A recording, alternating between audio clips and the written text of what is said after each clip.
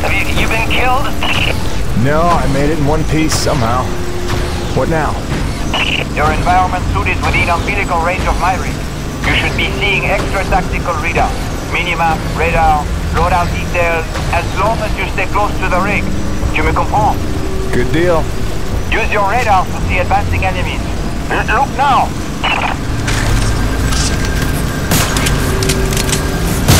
Hey, pick up the glowing orange blood the animals leave behind. You will need it for later, and fast.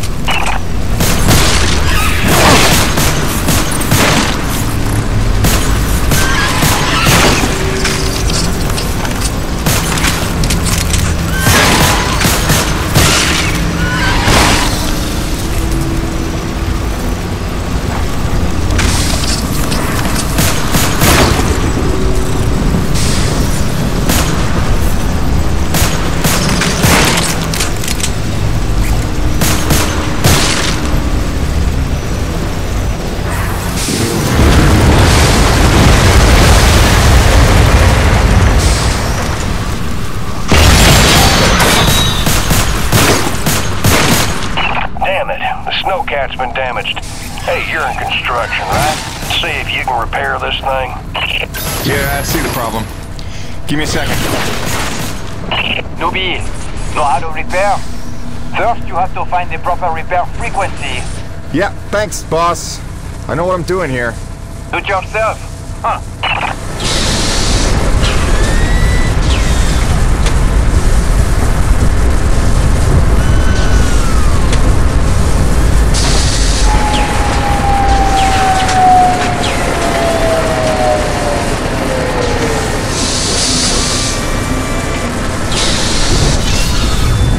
Okay, you're all set. Heads up, you got incoming.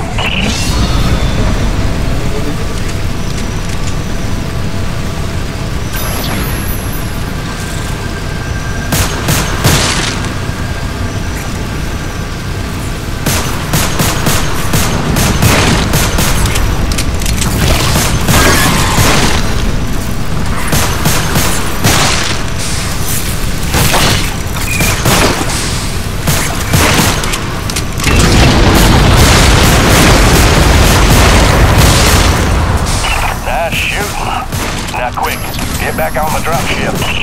On my way.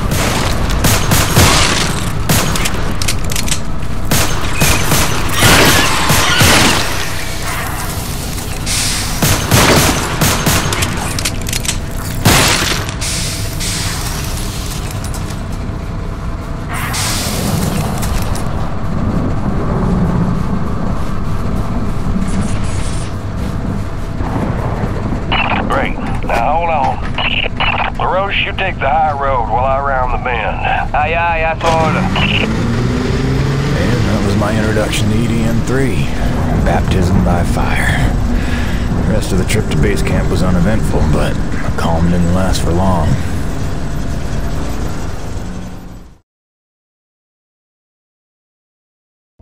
Look, you weren't her only friend on this base. We all miss Diaz. But I tried to warn you. NEVEC would never use that as an excuse until they started seeing results. It's not about Jeanette. You know it's not. Oh, so you're still blaming me, though? Ah, I never said that. You didn't have to. You just checked out. They're looking for something that doesn't exist. I'm directing my efforts where the science leads. That used to matter to you. It still does, Bonnie, but this isn't my call. NEVEC is footing the bill for this operation. They insisted. And that's it. Not a peep from you. Not a. It's only because of me that you still even have a job here. Oh, yes, a job answering to. Him. Uh, Dr. Kovac. Glad to see you made it in one piece. Yes, it's been an eventful morning. Phil Braddock, I presume? Mm-hmm. Dr. Roman? It's Been some time. Feels like yesterday, Kenny. You'll excuse me. Okay. And you must be Jim Peyton. Here, you really stepped up out there, huh? You must have a million questions. I hope you don't mind being thrown into the deep end. Sir, I'm here to work. All I need to know is how a man can earn some credits around here. Thermal energy. That's the name of the game. Akrid blood?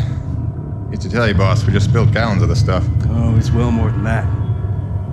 Flows through everything on EDN3. creatures, tectonics, all the way down to the core. Makes life possible in a climate like this. No other substance like it in the universe. And NEVEC believes this can solve the energy crisis on Earth. Well, I believe it can.